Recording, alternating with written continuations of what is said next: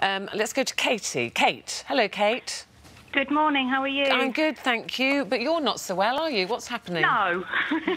um, basically, I had um, an ear infection about two, two and a half weeks ago. And since then, I've had a chronic headache. Oh. Um, it's doing my head in, literally. Yeah, and you've taken antibiotics and sprays. I had, and, yeah, yeah. I, yeah, two, yeah, two different lots of antibiotics, um, which, which have actually helped. I actually went to the doctor again yesterday. But you're So worried because of the headaches. This could be more than just an ear infection. Is that right? Yeah, Yeah. yeah. I was talking to Kate a little bit earlier, actually, and, and what she's describing is the hearing is slightly muffled in that ear too.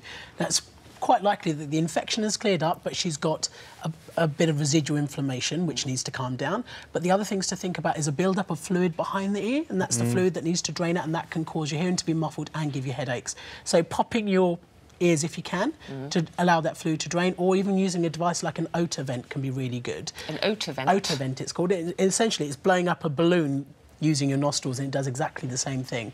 Other conditions to be wary of. If it's painful to touch around here, mastoiditis, which Okay. is where the infection could have spread to So other. Well, don't Doctor- up with it for much longer. Our Go consultation time is over, doctors. Thank you both very much indeed. And the surgery is closed.